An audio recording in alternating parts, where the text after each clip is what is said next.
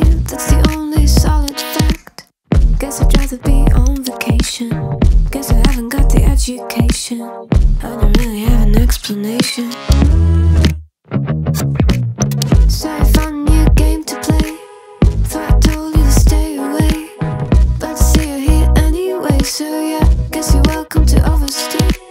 Just don't build up your expectations. It's not a good time to test my patience.